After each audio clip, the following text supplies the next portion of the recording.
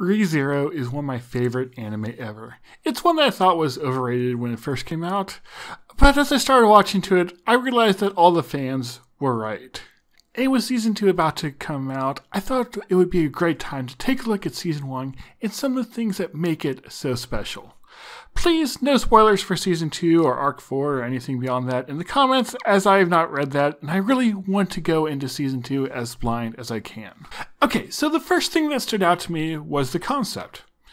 And by that, I mean that the concept isn't special. It's like a standard isekai. You have a guy from our world taken into a fantasy world. It's been done so many times by so many shows, both before and after ReZero.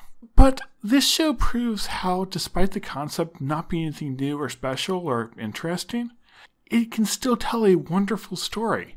ReZero is an epic fantasy with a vast world to explore, tons of interesting characters with their all with their own motivations and desires, in a story that weaves through all of this wonderfully. The concept is only a starting point. It seems like for a lot of isekai, the story is basically the concept. Now, not all of them, of course, and some of them are quite interesting, but I'm sure that you can think of a number of isekai that once you know the concept, you pretty much know all there is to know about the show. Though the concept did introduce one new mechanic here, and that is Subaru's return by death.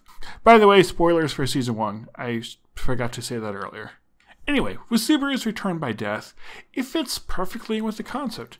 Because when you're playing a video game, you die, you fail, whatever, you just reset back to the last checkpoint or save point or whatever, and then you try again, sometimes again and again until you actually get it. But despite it fitting so well, I've never seen another anime with this type of uh, mechanic in it, or at least not for the main character. And the whole mechanic is used wonderfully here, letting Subaru fail many times until he figures out how to stop whatever it is this time. Typically, shows have to let the main character succeed because the story would not work otherwise. Like, you can't have an action show where the main character dies facing the villain, except for maybe in the final battle. With ReZero, though, Subaru can die at any point, and probably will. Now, in a way, this does lower the stakes, because Subaru doesn't die if he fails. If he dies, he'll be physically fine one second later. But while he may be physically fine, there's still the mental trauma, and he still faces the physical pain of actually dying. So it's not like him just resetting when he dies is an easier way out. Plus, any reduction in the stakes here that the reset causes is more than made up for by how it enhances the story the way that they do the resets lets us learn a lot about the world and the characters which wouldn't be possible if not for the resets. For example, you have Puck's giant form, or seeing how insane Betelgeuse is, or just the fact that Emilia introduced herself as Satella originally. None of these things could be done without the resets being mechanic, not to mention how it affects Subaru as a character. Dying so often, in oftentimes terribly painful ways, really messes with Subaru. Like there's that one episode where he just completely shut down, was overwhelmed by it all, and I'm honestly surprised he's able to pull himself back together. From a pure logical perspective, it seems like Subaru cannot lose. He can try different things, gather information, and when it doesn't work out, just die.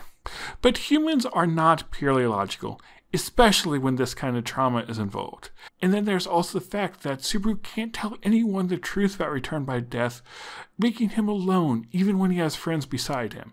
Subaru is the type of character who really does care about others and he wants to connect with them, but having this wall of force between him and the people he cares about, I feel like that's one of the things that really gets to him. And as a whole, Subaru is a wonderful character for a show like this. In some ways, he's like your standard anime protagonist. He wants to save everyone, is stubborn, refuses to quit, and rushes into things. But what makes Subaru such a great character is that the show illustrates the negatives of this type of personality.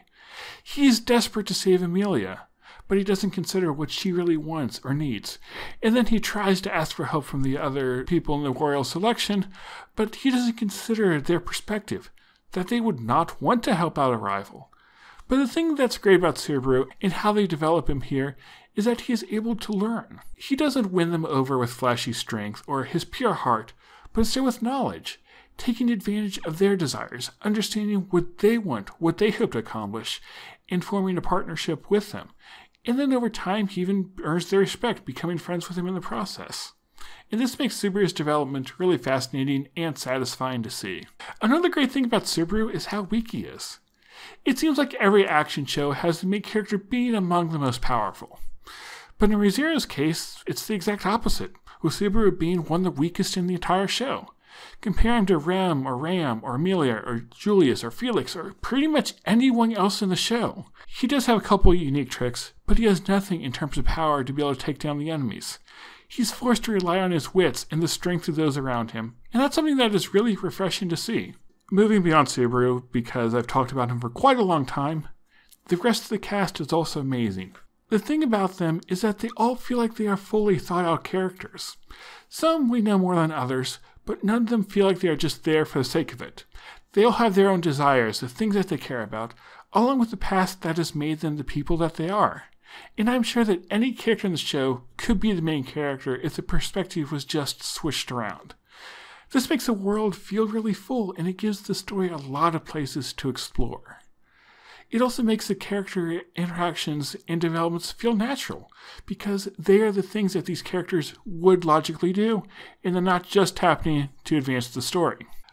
I also really like how the show explores the love between Subaru and Emilia and also the love between Rem and Subaru. Both of these loves is built upon not seeing the other person for who they are, but instead putting that person on a pedestal and believing them to be perfect. But this is also a false love.